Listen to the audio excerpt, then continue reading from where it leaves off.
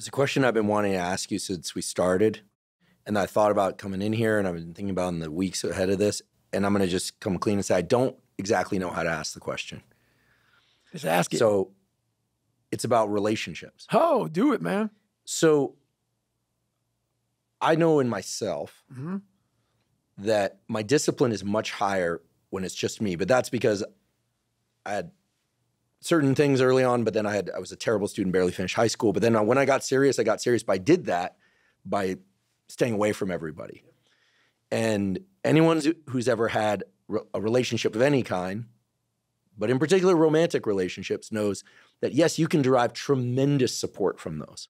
Like you got this, baby. You can go, and you're like, yeah, I got this. she said, I got this. You know, Right. feels great to finish something and share with someone, share a meal. You know, get the hug. But there's another side to all of that right. that I'd like to learn more about from you, which is there's a warm body next to you Mhm. in bed in the morning. You don't want to get up. Mhm. They also have needs. You've got your mission.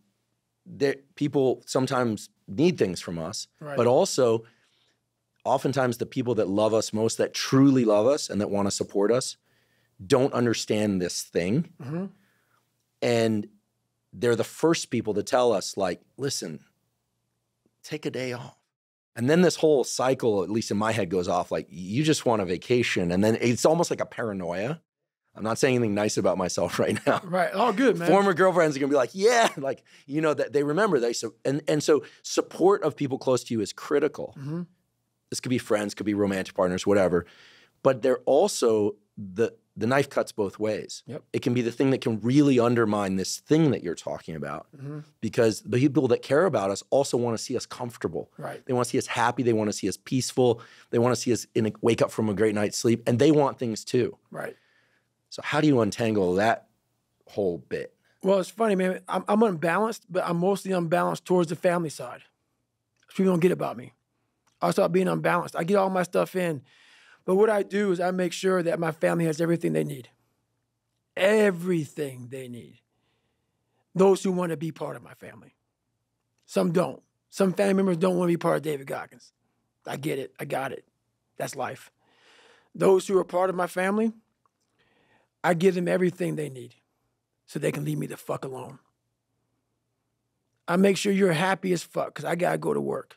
And I don't mean smoke jumping. I don't mean running. I mean all of it. It takes every, I can't have you in my fucking shit. Can't. So I know for me to have a family, I gotta make sure that you realize I'm gonna give you everything you need. So when you start bitching at me, I'm gonna say, look, hang on. I dedicated my life to give you everything you need. I need this time right here. For me to be the best I can be because this journey started without anybody. And I make sure everybody knows that who comes in my life. I've been left, think about it. I was left alone at a, long, at, at a young age to figure this shit out. I figured it out for myself, and it's been very successful for myself. No one's gonna come in here and fuck with my shit. That's why I make sure I will take care of whatever you need. Whatever you need from me, you got it. Money, house, my love, my support, I'm gonna give you everything you need. That said, I do it at the highest level possible. And I'm saying it with Jennifer in the next room. So please come here and say something if it's wrong, Jennifer. I don't give a fuck. Say what you gotta say. So then when it's time for me to go to work, I expect you to do the same for me. Because it takes every bit of me to do what I have to do. So I make sure that I'm very unbalanced for my family so I can be exactly that unbalanced for myself. And that's how I do it.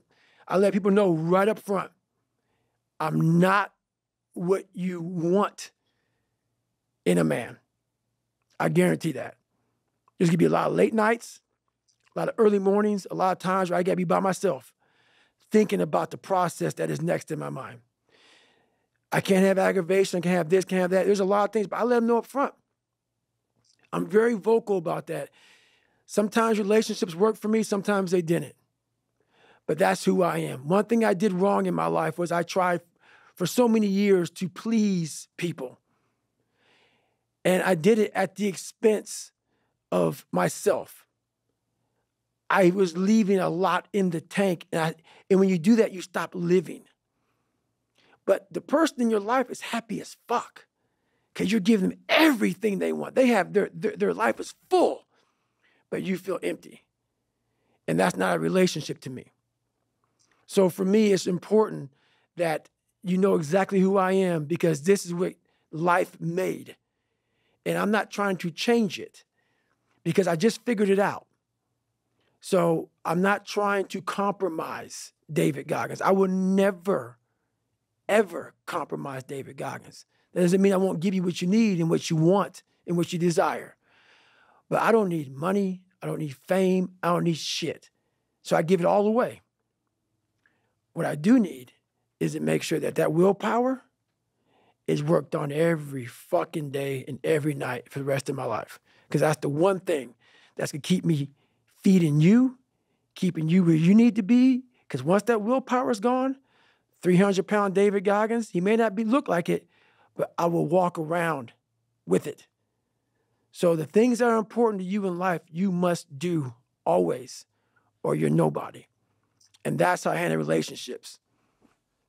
Amen to that. Something I could personally work on is that upfront, clear communication because I, I it resonates that feeling of like there's something inside that's not getting worked out that I was when I'm on my own. Mm-hmm. It's it's it's a, it's a lot easier. But then of course, wanting relationships and family, I think that's a healthy part of being human too. Very. And obviously, you've worked it out. So I appreciate you mm-hmm. sharing mm-hmm. that. I don't think I've ever heard you talk about no, it people that are scared way before. Of that, man. People are scared of that conversation with their wife, husband, girlfriend, boyfriend. And, but why are you scared of it?